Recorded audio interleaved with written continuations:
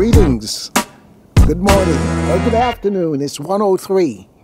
I was supposed to leave at 12 noon, high noon, but uh, things got a little bit delayed. So I'll be out on a course. The plan is to be out for at least three and a half hours. Yeah, so I should be back here by 4.33 or 4.35. Yeah, and uh, the plan is uh, to walk all the way to Eastvale Community Park.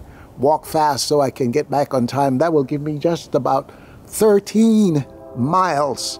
Not uh, quite a half marathon, but uh, we'll see. And um, I'm tempted to do a little jogging on the way back, but I've tried to tell myself to be disciplined and not do any jogging until after I meet my physical therapists for the evaluation assessment tomorrow on Monday. So I'll try to hold it back.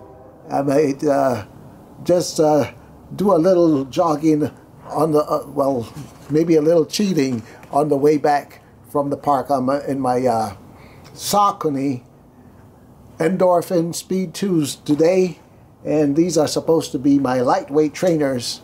See you later on the trails. And all the way to Eastvale Trail and Eastvale Community Park.